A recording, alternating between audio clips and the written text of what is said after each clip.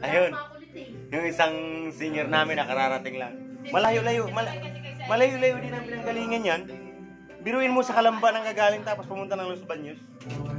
Kararating lang. Kanina pa kantahan. Ayan o. ano? Pinapapunto wala nagwa.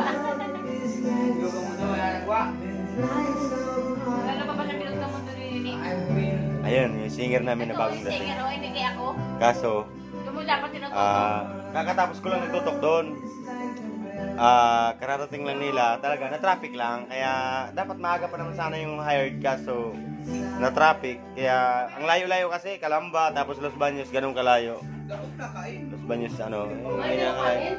Hindi, dun sa bahay, di ako nakain sa kanya. Saan ka nakain? Si Garigi, nagagalit ko sa gawa. Nakain. Gising mo ng umaga, ang bulyawang, putang ina mo, ayop ka.